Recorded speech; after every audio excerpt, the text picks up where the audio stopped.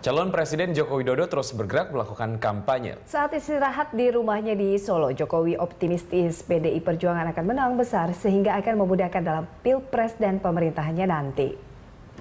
Ditemui di rumahnya di Kampung Banyuanyar, Kecamatan Banjarsari, Solo. Usai melakukan safari kampanye di sejumlah daerah di Indonesia, Jokowi menyatakan optimismenya akan menang tebal dalam pileg nanti. Hal ini sesuai dengan hitung-hitungan yang dilakukannya.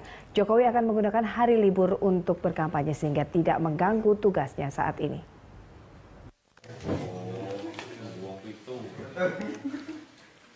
Lebih memudahkan di dalam pilpresnya kalau pileknya menangnya tebel.